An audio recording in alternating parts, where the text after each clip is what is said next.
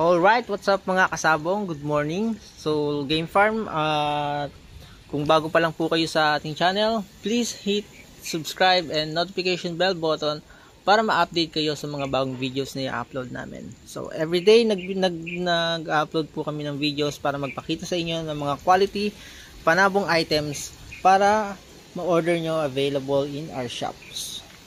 Ayan mga kasabong, today ang uh, papakita naman namin sa inyo ay ang aming bestseller na Prikat Tare. Ayan, Dido Metal. Available siya in gold and black.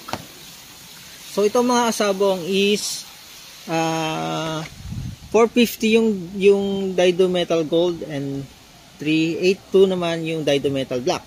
Available siya in 2.5 yung kapal. Ayan. Meron din tayong 2.0 for stag. So, 4.1 mga kasabong yung, yung haba niya. Ayan. Ito po is pre-cut pa lang ha. Uh, so kayo na po yung magpapagawa sa mga paborito nyo maghahasa. Yan. Imported mga, mga kasabong yan from Japan. Alam niyo naman kapag kagawang Japan, quality talaga yan. Uh, kaya ito is uh, one of our best seller talaga.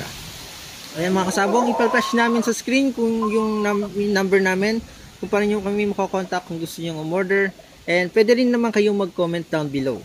Mga kasabong, uh, Soul Game Farm, uh, order na po at kita-kits tayo to another, sa another video. Maraming salamat.